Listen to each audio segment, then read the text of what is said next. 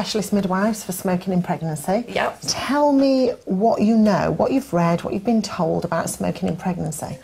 Sometimes I think about it and I think that it's making the baby use its heart and that on its own in the first place, you know, so that when it comes out, it's it's going to be quite able to do them things by itself. Tell me if I'm wrong, Charlie, but you think that by smoking, you're making the baby's heart work harder and that will make it stronger. So the way I think of it is obviously the baby's heart is is working on its own because obviously I'm not feeding it as much oxygen, which isn't as bad, but you know the baby's learning to pump that stuff around itself. What happens when you inhale on a cigarette? The carbon monoxide goes into the baby's bloodstream. the baby has much less oxygen. So the baby's tiny heart, and it's tiny, has to start beating a lot harder, a lot faster to try and get the oxygen that is there around the body. Yeah. So the baby's tiny heart has to work so much harder when you're having a cigarette, but it's pounding away and it's under stress and it's under pressure because we are cutting off the baby's oxygen supply.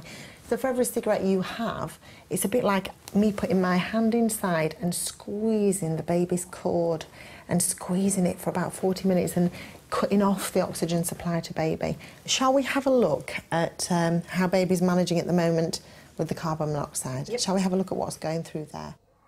Using the latest technology, Lisa will measure the amount of carbon monoxide Charlie is putting straight into her body and the damage it's doing to her baby. You can see the, the clock ticking down at the bottom there. Carbon monoxide is the same poisonous gas that's found in car exhaust fumes. Off you go and blow. Keep blowing, Charlie. Keep blowing. Don't stop. Keep it coming. Keep it coming, Charlie. Empty all the air out of your lungs. As long as you can, keep going. Okay.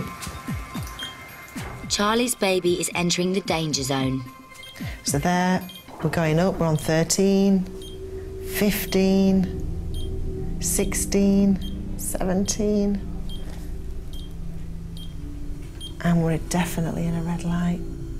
And baby's flashing there on a red light. So that is telling us that, It's bad. yeah.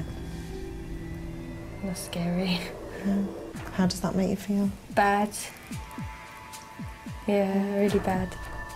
Charlie has six times more carbon monoxide in her system than is safe for her baby. Your baby is struggling for oxygen. Yep. and it's saying, help me, you know, yeah? Does that change how you feel today about your smoking? Really feel guilty because, you know, it's the, not the baby's fault. You know that you know it's, it's my habit, not the baby's habit. So mm. So really, I mean, what you've just said there is exactly right. Yeah. You're choosing to smoke, but your baby has no choice, but your baby's smoking too, yeah, yeah? which isn't good. So, based on that, what do you think we should do right now? Stop. Speak to you Tuesday. Bye. Never, ever had anybody ever tell me that they felt that smoking was actually helping their baby. And that aspect really shocked me because there's so much misinformation out there. And most pregnant women know that it's not good, but they might not know the health risks. But to have somebody say to me, but I thought it was strengthening my baby's heartbeat is unbelievable.